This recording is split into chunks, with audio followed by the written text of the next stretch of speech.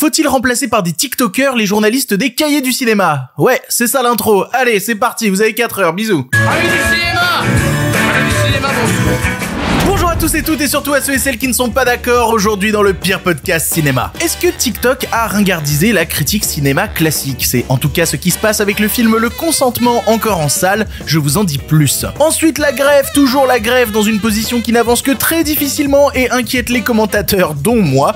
Comment faire pour s'en sortir? Dans la version podcast, Martin Scorsese recommande des films directement sur Letterboxd et dans la version YouTube, les trailers sympas ou non qu'il ne fallait pas rater cette semaine. Il y aura aussi la question du public et un film méconnu réalisé par Wes Craven et présenté par un auditeur. Et voilà, c'est le pire podcast cinéma, le dernier de la semaine, avec vous. Eh bien, ça ne va pas être dans la poche.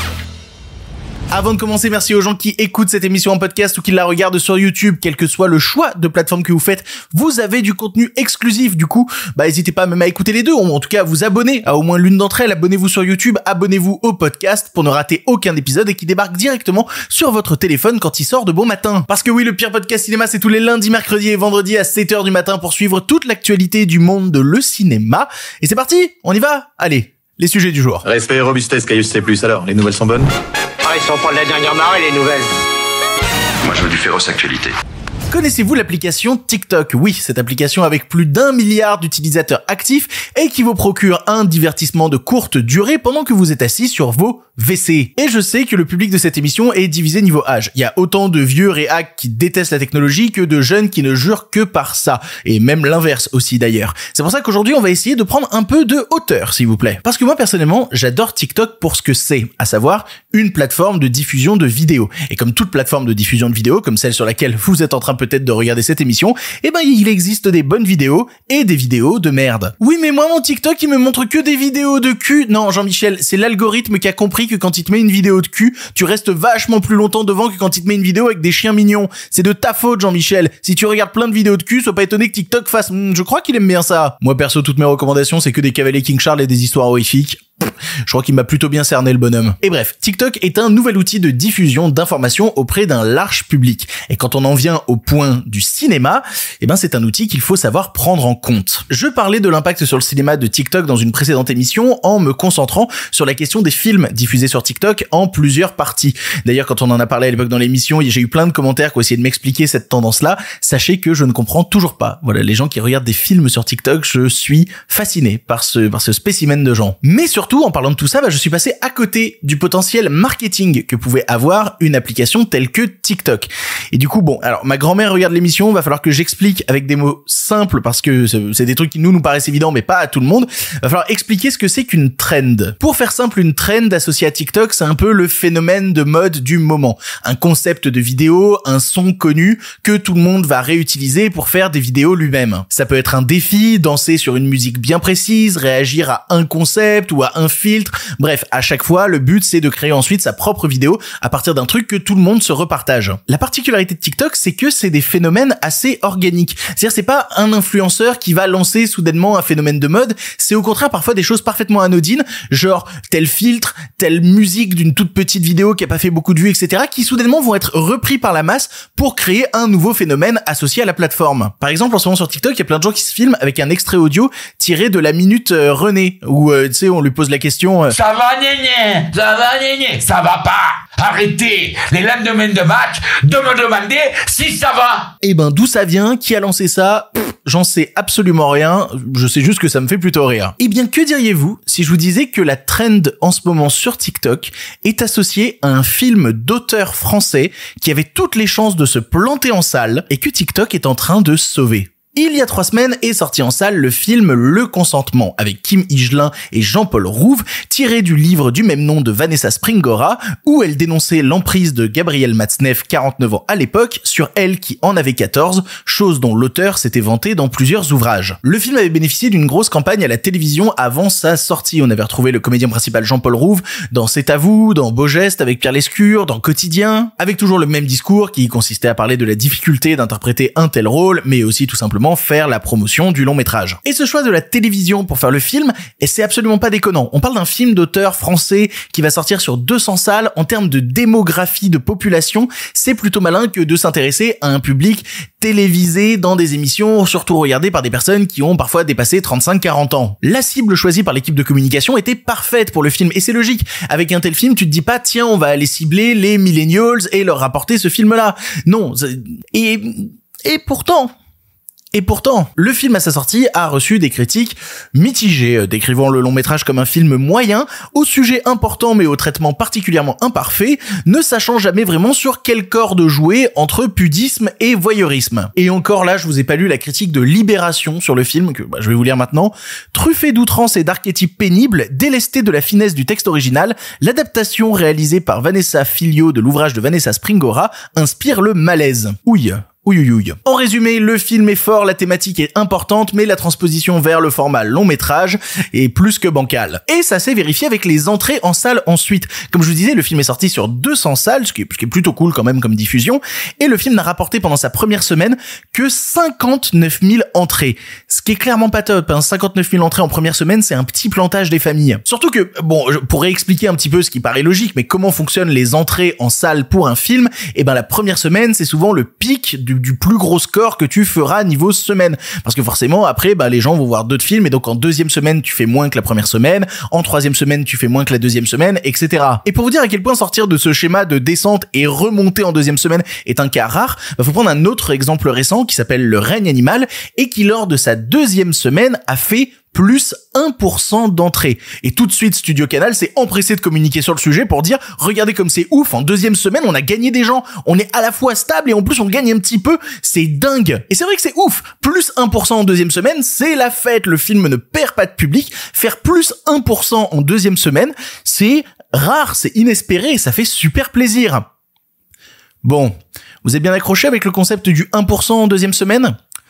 Le consentement sur sa deuxième semaine a fait plus 40%. 40% de plus pendant sa deuxième semaine. C'est rarissime. Ça n'a aucun sens que de faire plus 40% en deuxième semaine. Surtout pour un film d'auteur français peu distribué. Ça, ça a juste aucun sens. D'après un tweet que j'ai vu passer d'ailleurs du boss de Condor Film, ce mercredi, le long métrage a encore triplé son score. Quoi? Mais qu'est-ce qui se passe avec ce film? Eh bah, je vais vous l'expliquer. Qu'est-ce qui se passe avec ce film? Normalement, vous avez vu la miniature de l'émission, hein. vous savez que c'est TikTok. Voilà, c'est TikTok. Il suffit de taper dans la barre de recherche TikTok le consentement film pour voir une tripotée tétrachier de vidéos qui parlent du long métrage. Une véritable trend a été lancée autour du film, dont le principe est de se filmer avant la séance, puis après la séance pour montrer à quel point le film nous a traumatisés. Le son d'ailleurs qui est réutilisé dans le fond de chacun de ces TikTok provient d'une bande-annonce qui a été postée sur le réseau par le compte le zapper. Il fait que ça d'ailleurs, il poste des bandes annonces en boucle. Et habituellement, les bandes annonces qu'il poste font un peu moins de 1000 vues sur TikTok. Et concernant la bande annonce du consentement, il a fait plus de 140 000 vues. Ouais, en termes de progression, passer de 1000 à 140 000, c'est plutôt gigantesque. C'est plutôt gigantesque. Et visiblement, c'est grâce à cette traîne que le film est en train d'exploser toutes les espérances en salle, parce que ça a créé un véritable phénomène de société autour des jeunes, qui se lancent un peu comme défi le côté « Arriverez-vous à tenir devant ce film qui est particulièrement ignoble et qui va vous retourner le bide ?» Et je comprends un petit peu quelles sont les ficelles qui font marcher ce genre de phénomène, parce que je l'ai déjà vu à l'œuvre à deux reprises. Une fois dans le circuit classique, et une fois, bah encore une fois, de manière totalement étrange. La première évidente qui fonctionne sur les mêmes ressorts, c'est celle qui a entouré la sortie du long métrage Paranormal Activity en 2009, où la majorité de la bande-annonce était composée d'images de gens filmés dans la salle en train d'avoir peur. Et donc toute la question qui se posait aux spectateurs, c'est hey, toi quand tu seras dans la salle, t'auras peur comme eux ou pas? Mais après des années, les chocs horrifiques sont passés bah, de ces films avec des jumpscares à des choses beaucoup plus réelles, et notamment un malaise suscité auprès de certains spectateurs face à des scènes de sexe. Le deuxième truc dont je parlais, c'est arrivé sur TikTok, quand le film Love de Gaspar Noé s'est retrouvé sur le Netflix américain, et que tout un phénomène s'est créé sur la plateforme où il fallait se filmer en regardant la première scène du long métrage et montrer à quel point cette première scène était choquante. La première scène du film, c'est une turbo baise. Voilà. Ce qui est choquant, c'est de retrouver ça sur Netflix sans contrôle parental aucun, mais mais sinon c'est juste une scène de baise. Mais ça avait fait exploser en termes de vues le film sur la plateforme. TikTok avait encore frappé. Et bon, bah, je vais extrapoler un peu. Je, je suis limite hors sujet, mais le sujet des scènes de sexe pour la génération Z, c'est un débat qui est ultra clivant. Euh, il y a eu récemment une enquête qui a été rapportée par le média IndieWire et qui montre que un jeune sur deux affirme que les scènes de sexe n'apportent rien au scénario des films et qu'ils aimeraient davantage d'histoires d'amitié et de relations platoniques. Et là, pour le coup, je peux pas m'empêcher d'y voir un retour d'un certain puritanisme américain. C'est-à-dire, ça va regarder des vidéos de meurtre sur 4chan, mais à côté de ça, cacher ce sein fictionnel que je ne saurais voir. Ouais, d'accord. Mais bon, on est totalement hors sujet. Euh, revenons sur le truc euh, du jour. L'important là-dedans, c'est que le distributeur n'avait absolument pas prévu que sa communication se passerait comme ça. Jamais il aurait pu prévoir que TikTok deviendrait l'outil principal du marketing de son film. Je veux dire, les types ont payé des affiches partout dans Paris, ils ont fait déplacer les comédiens sur des plateaux télé, ça a dû coûter un pognon de dingue, et c'est TikTok qui organiquement a mieux fait la promo du film. Une trend de TikTok qui a coûté 0 euros a permis au film de faire plus que tout le travail du département com. Je trouve ça hallucinant. Et en même temps, c'est un truc que j'ai déjà vu à l'œuvre. Je vais vous raconter un exemple qui est totalement personnel. Mais il y a quelques années, j'ai sorti une série qui s'appelait euh, L'employé sur Spotify. Si jamais vous l'avez pas écouté, c'est une série audio. Voilà, ça s'appelle L'employé. C'est super, c'est moi qui l'ai fait. Et à l'époque, bon, je peux pas vous dire les chiffres, mais il y avait eu une énorme campagne de communication sur la série qui avoisinait deux à trois fois le budget de production de la série. Et on avait eu droit à des affiches de la série partout dans le métro. La défense à Paris était recouverte d'affiches de la série. C'était juste complètement dingue. Et personnellement, moi, avant de l'annoncer sur ma chaîne YouTube, bah, j'ai attendu une semaine que d'abord cette campagne de marketing se fasse et qu'ensuite moi je puisse embrayer avec ma vidéo sur YouTube. Et quand on a pu analyser les chiffres d'écoute de l'employé, on s'est rendu compte que ma vidéo YouTube, ma petite vidéo YouTube qui avait fait moins de 100 000 vues, a permis de faire plus d'écoutes sur la série, quatre fois plus d'écoutes sur la série que la communication classique qui avait coûté un truc à six chiffres. Une vidéo. Ouais. Le, le, truc en fait c'est qu'aujourd'hui YouTube a plus le même impact que ce qu'il avait à l'époque. Alors moi j'adore créer pour cette plateforme, peut-être que vous regardez l'émission sur cette plateforme, j'adore faire ça, mais aujourd'hui le vrai impact il est sur TikTok. Et du coup ça interroge profondément les manières habituelles de communiquer autour d'un film. Est-ce que les distributeurs qui poussent à tout prix pour qu'on utilise le circuit classique de promotion sont pas tout simplement en train de faire fausse route et de se mettre à la bourre? On sous-estime en permanence les nouveaux médias et c'est un schéma classique quand les journalistes cinéma papier ont vu les blogueurs débarquer, et eh ben ils leur ont chié dessus. Quand les blogueurs ont vu les youtubeurs ciné débarquer, ils leur ont chié dessus. Et quand les youtubeurs ciné ont vu les tiktokers débarquer, et eh ben ils les ont traités avec énormément de mépris. Sauf qu'il faut se rendre à l'évidence. N'importe quel papier qui a été écrit sur le film Le Consentement par un pigiste cinéma sous-payé dans quel que soit le magazine a eu moins d'impact qu'un TikTok autour du film. N'importe quel passage télé avec des prods à 5 ou 6 chiffres a eu moins d'impact que l'engouement naturel suscité sur TikTok. Alors attention, il faut que toutes ces formes existent, parce que chacun va pas chercher la même chose mais il faut se rendre à l'évidence. Des jeunes, même si ça veut rien dire des jeunes, mais des jeunes se disent pourquoi est-ce que j'irai regarder une émission longue, pourquoi est-ce que j'irai lire un long texte sur le film, alors que naturellement il y a mon téléphone dans ma poche qui peut faire ce boulot-là et qui aura toujours plus d'influence que n'importe quelle émission ou n'importe quel magazine. Je parle pas de qualité là, je parle de quantité qui amène des entrées. Et cette quantité amenée par TikTok a pu faire davantage pour le film que n'importe quelle critique ciné quel que soit le média. Et pour cause, les publications autour du film sur TikTok aujourd'hui atteignent en cumulé plus de 20 millions de vues. Qui est capable de faire ça? Encore une fois, je parle pas de qualité, je parle de pouvoir de ramener les gens en salle. Et c'est exactement ce qui s'est passé. Alors après, ça m'interroge sur d'autres trucs que je vais pas élaborer ici, notamment le fait que je suis un peu perturbé de voir des jeunes communiquer sur ce long métrage comme si c'était une attraction horrifique. C'est-à-dire mettre sur le même pied d'égalité les films d'horreur, jumpscare des années 2000 et ce film-là, comme si c'était la même chose.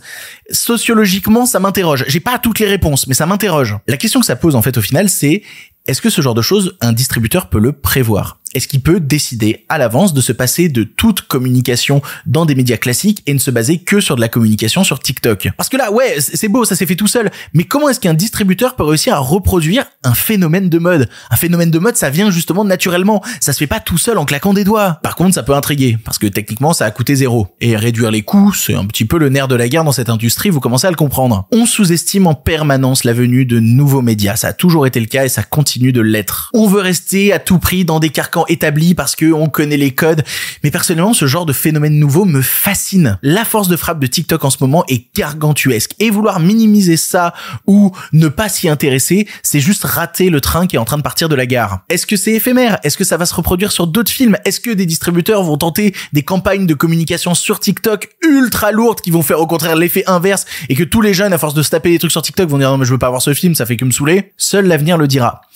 Mais va falloir, je pense, commencer à s'ouvrir à ces nouveaux influenceurs du quotidien avant que eux-mêmes, désintéressés, finissent par se refermer et couper toute possibilité de dialogue avec le vieux monde. Connaissez-vous la grève? Oui, comment elle va la grève? Ben installe-toi, prends un siège, ça fait plaisir de te voir. On va faire un point rapide parce qu'il n'y a pas grand-chose qui s'est passé. Globalement, ça stagne, mais est-ce que le fait que ça stagne est une bonne ou une mauvaise nouvelle? Après des négociations avortées entre studios, plateformes et acteurs, parce que bon, euh, j'en suis venu au point où je fais des résumés rapides, parce que les studios et les plateformes se comportent comme des merdes. Voilà pourquoi. Cette semaine, les studios et les plateformes se sont rendus compte qu'ils avaient un petit peu merdé et se sont reproposés à la discussion. C'est pour ça que lundi se sont réunis donc le syndicat Studio Plateforme qui s'appelle la MPTP et le syndicat des acteurs qui s'appelle la SAGAFTRA. Lundi se sont réunis pour discuter et visiblement les discussions ont été plutôt fructueuses parce qu'ils ont annoncé qu'ils allaient se revoir dès mercredi pour continuer à discuter. Et pif paf pouf, la réunion de mercredi a été annulée. Et si vous commencez un petit peu à comprendre le schéma, vous savez que quand une réunion s'annule, tu flaires qu'il y a un truc qui pue. Il y a un truc qui pue à l'intérieur. Donc tu te dis qu'est-ce qu'ils ont encore foutu? Tu attends patiemment le communiqué de la part du syndicat des acteurs. Et puis là, le communiqué tombe. Et euh... Alors comment dire? Quatre lignes, rapides, efficaces. Notre comité a passé sa journée à analyser la dernière contre-offre de la MPTP, nous rencontrerons les patrons demain. Demain étant quelques heures avant que j'ai terminé de monter cette émission, donc quoi qu'il se passe pendant cette réunion, je pourrais pas en parler dans cette émission, il faudra attendre la semaine prochaine. Voilà. Je vais essayer d'extrapoler sur ce communiqué qui dit pas grand chose, mais qui, de mon point de vue, au contraire, en dit beaucoup, à la fois en bien et en pas bien. En bien parce que ben si l'offre qui leur a été faite était pourrie, ils auraient pas repoussé la réunion d'un jour pour l'étudier en détail. Ils l'auraient plié dans une enveloppe, ils se seraient mis où je pense et ils auraient dit allez c'est bon, ça dégage et on repart sur les piquets de grève. Vu et sans tape. Voilà exactement ce qu'ils auraient fait. C'est une contre-proposition qui mérite un jour de plus d'analyse pour réussir à peser le pour et le contre à l'intérieur, qui mérite visiblement qu'on s'y intéresse. Ça veut peut-être dire donc que les choses avancent. Mais si je pense que c'est pas bien aussi, c'est parce que je suis persuadé que cette proposition est truffé de douille. C'est un terrain miné. Et surtout, en plus de la part des acteurs qui manifestent depuis plus de 100 jours, eh ben, ils commencent à être un petit peu sur les rotules. Ils sont fatigués. Est-ce qu'ils ont toujours la même force de lutte concernant les négociations avec les studios? Est-ce qu'au contraire, tiens, ils ont pas pris cette journée de plus pour réfléchir à sur quoi ils pouvaient lâcher du lest? Tout ça est imprévisible. Et en même temps, pas vraiment imprévisible parce que je vous parlais de lâcher du lest, mais c'est déjà le cas. On a appris que, à la base, justement, le syndicat des acteurs demandait de la part des plateformes des paiements à hauteur de 2% du chiffre d'affaires des plateformes. Ce qu'on avait calculé, hein, euh, rapporté à chaque acteur, c'était quelques centimes. Mais euh, les 2%, c'était scandaleux. Voilà, Netflix a dit c'est scandaleux 2%. Euh, Et du coup, les acteurs ont déjà réduit leur proposition de 2% à 1%. Je veux dire, rien que ça, ça devient dur. Ils en sont à supplier pour 1% de la part de studios et de plateformes qui font la sourde oreille. Ça commence à être rude. Le fait est que depuis la reprise des négociations, on voit une forte mobilisation de la part des acteurs sur les piquets de grève. De New York à Los Angeles, ça a défilé un max. On a vu Stephen Lang lever du poing à New York, on a vu Pedro Pascal être beau avec un panneau en espagnol, on a vu des distributions de chips, bref, visiblement, ça défile un max et ça soutient la grève. Sauf que, vous le savez, ça fait trois mois que j'analyse les moindres mouvements autour de cette grève, les moindres réactions sur les réseaux. Et les réactions que je vois actuellement, je les aime pas. Je les aime pas beaucoup. Vraiment, j'ai jamais vu autant de tweets négatifs. C'est-à-dire que oui, il y a la façade de, de, des photos en mode oui, on est tous unis, regardez-nous. Sauf que quand tu commences à lire les messages, bah tu vois, tu vois pulluler nombre de tweets pour dire bougez-vous le cul de trouver un accord en fait. Et c'est terrible, mais c'est pas étonnant. Le fait qu'il y a quelques semaines les scénaristes aient gagné a créé une joie puis une grosse frustration de la part des acteurs que de voir que de leur côté ça avançait pas et en plus, cette frustration-là, elle est utilisée par les studios qui se disent, allez, soyez bien frustrés, soyez bien énervés, à la fin, vous allez signer n'importe quoi. Ils savent très bien qu'ils peuvent utiliser ça pour retourner l'opinion publique à leur avantage. Oui, regardez, les vilains acteurs qui refusent de signer avec nous, nous qui sommes des gentils studios, on n'a rien fait de mal, on leur tend la main, et maintenant on est même obligé de repousser des films. Oui, parce qu'il y a ça aussi, il faut en parler, il y a encore des films qui ont été repoussés. Paramount Pictures a fait du tri dans son catalogue, et en repoussant un film, bah, ils ont été obligés de tous les repousser. En gros, le préquel de Sans un bruit qui devait sortir le 8 mars 2024 va sortir le 28 juin. Sauf que le 28 juin 2024, à la base, c'était la sortie d'une prochaine Mission Impossible qui passe donc du 28 juin 2024 à mai 2025, quasiment un an dans la gueule. Sauf que mai 2025, c'était la date de sortie du nouveau long métrage euh, Bob l'éponge. Voilà, je vais y arriver. Et Bob l'éponge passe de mai 2025 à décembre 2025. Décembre 2025. Où est-ce qu'on sera, mes amis, en 2025 De la même manière, Disney a repoussé une sortie Searchlight du 1er décembre, qui était The Bike Riders, film de Jeff Nichols, qui a été repoussé du 1er décembre à on sait pas, date indéterminée. On replacera une date quand la grève sera finie.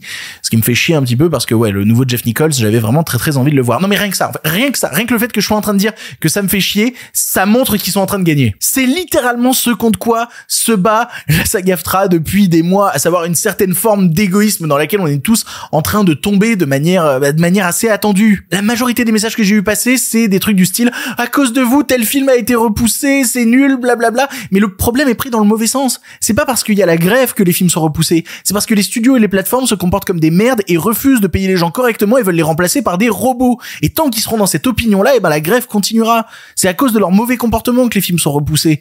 Et le fait de repousser des films est utilisé pour essayer de rapporter l'opinion de leur côté, ce qui est quand même terrible. Et puis surtout, si on parlait des studios, j'ai fait un ajout de dernière minute juste avant de tourner. Mais en gros, les studios se sentent tellement plus pissés qu'ils viennent de menacer d'arrêter les négociations jusqu'à janvier si un deal n'est pas trouvé cette semaine. Ils en sont à un moment où ils tapent du point fort sur la table. Après, c'est peut-être une lueur d'espoir parce que la dernière fois qu'ils ont tapé du poing sur la table comme ça, c'était juste avant la fin de la grève des scénaristes où ils avaient dit aux scénaristes "Oui, c'est notre dernière proposition, on fera plus d'autres propositions après, soit vous acceptez celle-là, soit vous, allez vous faire cuire le cul."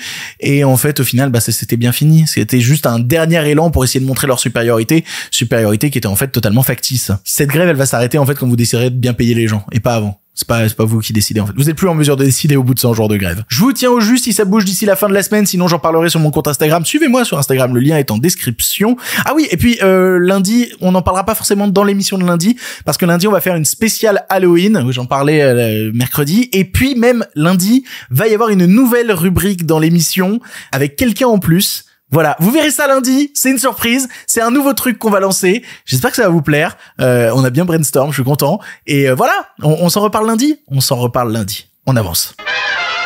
Et si tu vois ça, c'est que tu regardes la version vidéo de l'émission. En effet, dans la version podcast, on est en train de parler de Martin Scorsese qui a un profil sur Letterboxd. C'est pas une blague et vraiment on est en train d'analyser tout le truc. Mais nous, de notre côté, on va parler des bandes annonces qu'il ne fallait pas rater cette semaine, des trailers sympas ou non. Et on va commencer tout de suite avec un trailer que j'attendais énormément et qui est pour le film Vermine.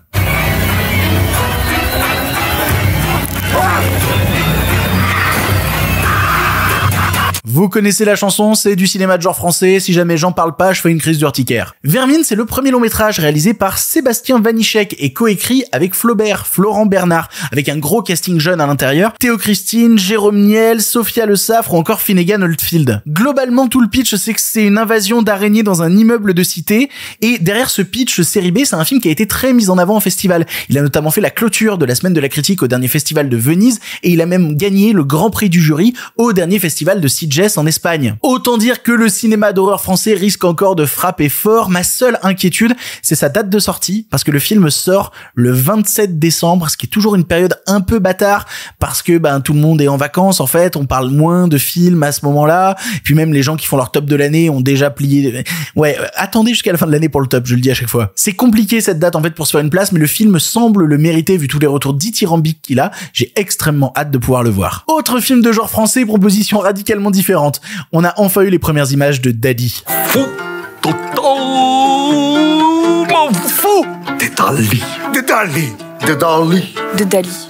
Quentin Dupieux fait son douzième film de l'année, il est putain d'inépuisable. Il sort plus de films que Jules sort d'albums. Et en même temps, bah, il a raison parce qu'à chaque coup, ça marche sur moi. Et le dernier qu'il a sorti, Yannick, c'est sûrement un de mes films, c'est mon film préféré de l'année en France. Sans déconner. C'est son plus grand film, c'est le plus grand film de sa filmographie. Donc pourquoi se priver? Voilà. Alors ici, il a l'air de replonger totalement dans une dimension surréaliste de son cinéma avec une journaliste française incarnée visiblement par Anaïs de Moustier qui va rencontrer à plusieurs reprises Salvador Dali pour l'interviewer. Mais à chaque fois, il sera interprétée par un comédien différent. Et les comédiens en question, c'est Gilles Lelouch, Édouard Baird, Jonathan Cohen, Pio Marmaille, Didier Flamand, visiblement aussi Romain Duris. Qu'est-ce que c'est que cette idée? En vrai, ça me chauffe à mort parce que je suis assez fan de son cinéma qui sort du réel. Bah, littéralement en utilisant ce mot-là, je suis extrêmement fan du long métrage réalité. Je le trouve complètement dingue. Mais il faut quand même noter que Dali, ça va faire un virage à 180 degrés pour le nouveau public qui s'est intéressé au cinéma de Quentin Dupieux après Yannick, qui était quand même une proposition beaucoup plus ouverte. Ça sortira en salle le 7 février 2024, histoire de bien commencer l'année. Et la semaine d'après, Dali, euh, il va falloir qu'on parle d'un autre film. Alors euh, là aussi, radicalement différent. Il faut qu'on parle de chien et chat. Arrête Je veux juste qu'on fasse connaissance, y'a quoi? Dégage avec ton Samugo Je pense que c'est une des bandes annonces françaises les plus laides que j'ai vu de ma vie. Franchement, j'ai même pas envie de critiquer. Vous savez quoi Je vais vous donner le casting. Voilà, c'est Franck Dubosc Rem Kirishi euh, qui réalise le film aussi, et Philippe Lachaud. Et je vais vous lire le pitch. Monica est la propriétaire de Diva, célèbre chat et star d'internet. Jack est un voleur dont le dernier larcin, un énorme rubis d'une valeur inestimable, a malencontreusement été avalé par un chien errant nommé Chichi. Par un concours de circonstances, Monica et Jack se retrouvent séparés de leurs animaux et les voient donc impuissants s'échapper vers une destination inconnue. Et le pire en plus, c'est le pire c'est que ça risque de marcher. Parce que ça a l'air de faire le pont entre l'ancienne et la nouvelle génération avec Franck Dubosc et Philippe Lachaud. Parce qu'il y a des créatures numériques à l'intérieur qui sont d'ailleurs interprétées par Inès Reg et Artus. Et que ça s'inscrit dans un certain cinéma de comédie populaire. Mais est-ce que la comédie populaire ne mérite pas mieux? C'est ça que je vous demande. Ça sort donc le 14 février pour la Saint-Valentin, pile après Dali. Quelle belle sortie en Saint-Valentin que celle-là. Youpi, est-ce un motif de rupture? Il m'a emmené voir le film Chien et chat le jour de la Saint-Valentin. Autre film français dont j'avais pas du tout entendu parler avant la bande-annonce de cette semaine, ça s'appelle La Vénus d'argent. Comment tu t'appelles? Jeanne Franqueur. T'es lesbienne, c'est ça? Je suis neutre comme les chiffres. C'est quoi ça? C'est des conneries de wok Vraiment, avant que la bande-annonce débarque, j'en avais jamais entendu parler. C'est un film réalisé par la réalisatrice Elena Koltz et avec un casting très musical. C'est ça qui m'a intrigué. Il y a Claire Pomé, qui est connue sous son nom de chanteuse Pomme. Il y a Sofiane Zermani, qui est connue pour être le Fianso. Il y a aussi Neil Schneider ou encore Anna Mouglalis. Tout ça dans une histoire de gamine qui a grandi dans une gendarmerie, mais qui, elle, veut percer dans le monde de la finance, qu'elle est donc qui raye le parquet un truc grave et qui, pour ça, est prêt à tout, même à faire trois petits trucs sur le teco. La proposition m'intéresse beaucoup. Déjà parce qu'à chaque fois que je vois Fianso faire l'acteur, c'est un truc que j'aime bien. Je l'avais vu au théâtre faire Gatsby et ça m'avait juste profondément chamboulé. Donc vraiment beaucoup aimé ça. Mais à côté de ça, par exemple, voir les premiers pas de Claire Pomé à l'écran m'intéresse aussi beaucoup. Ça sort en France en 2023. Ça sort à la fin du mois de novembre, le 22 novembre. Une date qu'elle est chargée. Oh putain, le 22 novembre, c'est chargé. Le même jour, il y a Napoléon, il y a Je ne suis pas un héros avec Vincent de Dienne, il y a Rien à perdre avec Virginie Efira, il y a Mars Express, le formidable film d'animation de Jérémy Perrin dont j'ai hâte de vous parler, il y a Testament, le dernier film de Denis Arcand, il y a L'Arche de Noé avec Valérie Lemercier, il y a tout ça le même jour et donc aussi la Vénus d'argent. Putain, faire sa place ce jour-là, ça va pas être simple. Dernier film de cette sélection donc qui va sortir directement sur Netflix, il faut qu'on en parle. Il faut qu'on parle de Maestro.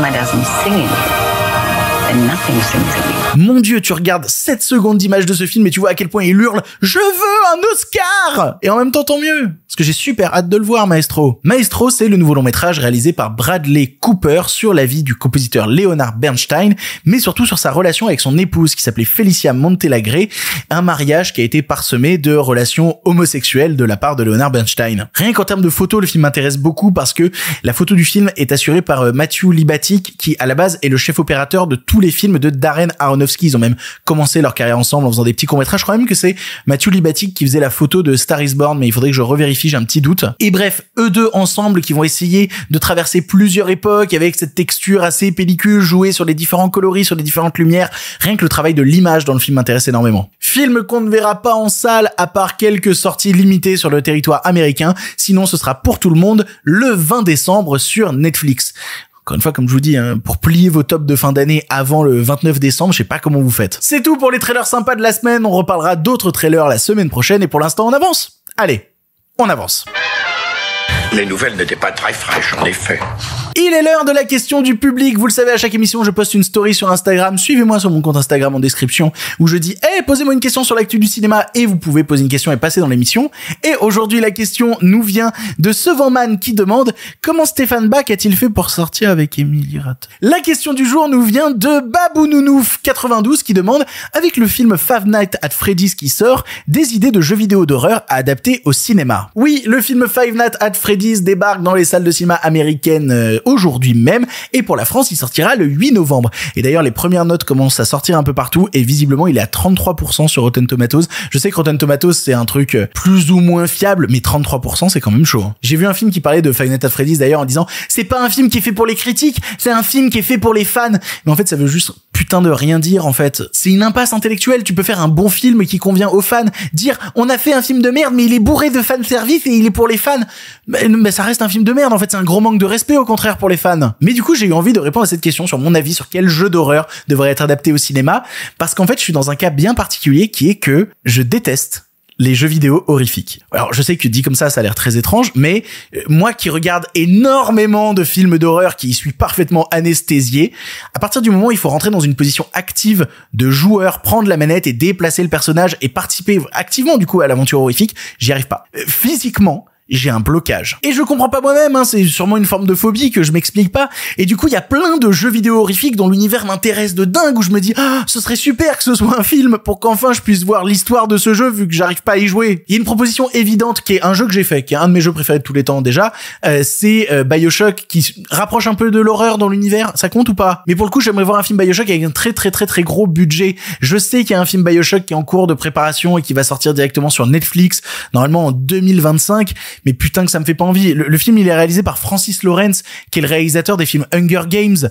Voilà, pendant des années, on nous a vendu un projet de film Bioshock. En fait, c'est ça qui m'excitait. Il y avait un projet de film Bioshock réalisé par Gore Verbinski, le réalisateur des films Pirates des Caraïbes et de Lone Ranger. Lui, avec sa démesure dans sa mise en scène, prendre Bioshock, ça aurait été dingue. Le projet a jamais existé. C'est pour ça qu'il a fait A Cure for Life euh, derrière, mais quelle frustration énorme. Donc ouais, je vais, je vais attendre l'adaptation Netflix, bien évidemment, mais je vais l'attendre avec beaucoup d'appréhension parce que euh, je le sens pas.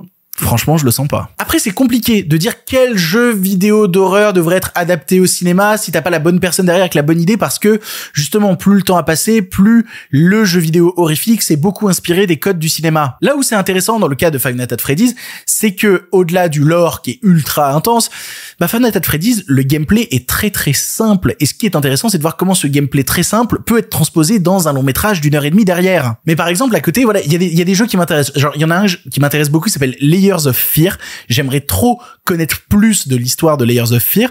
Mais est-ce que ça peut être adapté au cinéma? Je, je, je n'en ai aucune idée. Idem, est-ce que la saga Amnesia, elle peut débarquer sur grand écran derrière? Sachant que Amnesia quand même joue beaucoup sur sa boucle de gameplay qui consiste à mettre le, le joueur dans une position où il peut pas se défendre et tout. Est-ce qu'on arriverait à faire ressentir ça au spectateur derrière? Donc allez, euh, recommandation ultime d'un univers horrifique plus que d'un jeu vidéo d'horreur. S'il y a un film que j'aimerais bien voir, c'est un film adapté de l'univers Bloodborne. Oui, évidemment, tu pourras jamais faire ressentir la puissance du gameplay de Bloodborne, mais juste pour l'univers, essayer de créer un récit à l'intérieur euh, nouveau et essayer de le transposer sur grand écran avec toutes ces créatures et tout, ça m'intéresserait beaucoup. Un jour, il va falloir que j'arrive à vaincre cette peur. Il va falloir que j'arrive enfin à jouer à des jeux vidéo horrifiques. Vous savez ce qui me frustre le plus?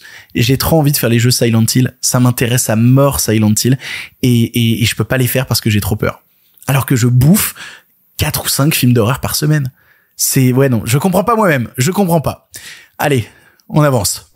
Pour le cinéma, monsieur Leblanc, pour le grand écran, pas pour la petite lucarne.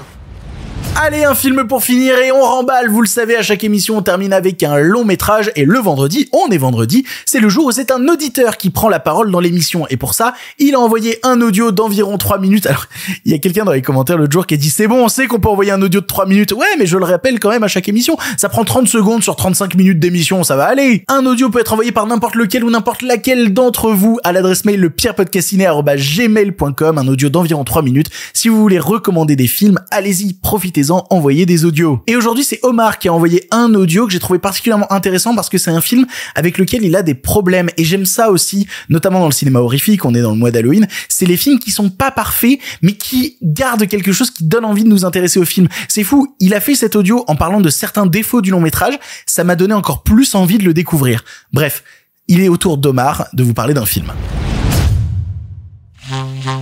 Bonjour.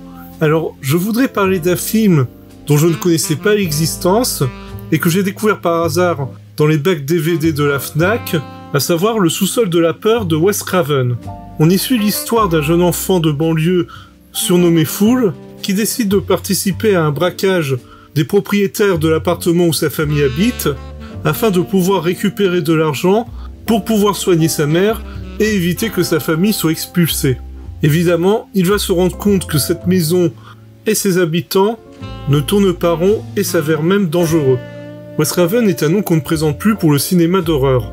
Pourtant, si on cite facilement Scream ou Les Rives de la Nuit, il y a plusieurs de ces films qui restent assez méconnus, comme ce sous-sol de la peur, que j'ai trouvé très intéressant malgré quelques problèmes.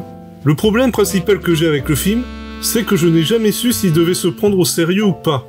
Il a un peu du mal à trouver un équilibre entre les moments d'humour et les passages plus sérieux.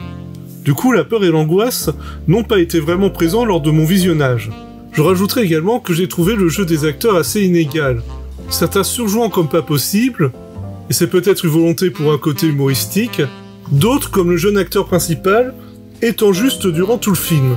Là où le film est intéressant par contre, c'est par rapport aux thématiques qu'il aborde. Soyons clairs, si le film sortait aujourd'hui, il ne ferait absolument pas tâche par rapport aux autres films d'horreur sociétale que l'on a. Car sous ses allures de survival, le film n'hésite pas à mettre en avant des thématiques comme l'accumulation des richesses, les classes sociales, la violence familiale, le racisme, et j'en passe. Et si j'ai dit que le film ne ferait pas tâche par rapport à ces thématiques s'il sortait aujourd'hui, je me dis qu'au moment de sa sortie en 91, il devait être assez unique. Rien que le fait d'avoir comme héros principal un jeune enfant afro-américain, ce n'est pas quelque chose qui était très courant à l'époque, et donc rien que ce choix signifiait beaucoup de choses.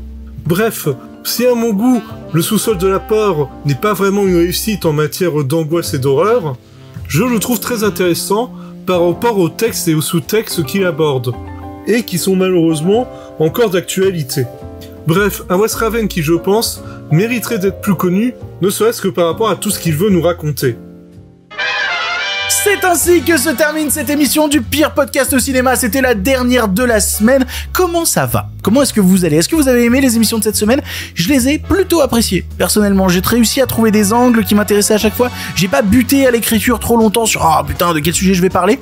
Au final, ça existe. C'est cool, c'est bien. On va se retrouver tous ensemble la semaine prochaine pour une nouvelle émission et comme je vous dis, lundi va être une émission particulière pour Halloween et en plus, il y aura quelque chose de nouveau à l'intérieur. J'ai trop hâte. J'espère. Alors déjà, c'est un truc qui va être tourné dans le week-end. J'espère que ça va marcher comme on veut. J'espère que vous allez pouvoir le découvrir aussi de la bonne manière, que ce soit en audio ou en vidéo. Sais pas. C'est nouveau. Ça débarque lundi. On verra si ça vous plaît. J'espère. En attendant, c'est terminé. Mais si vous en voulez encore. Non mais oui, bien sûr, mais c'est fini cette histoire là. Par contre, euh, la prochaine fois, avec plaisir.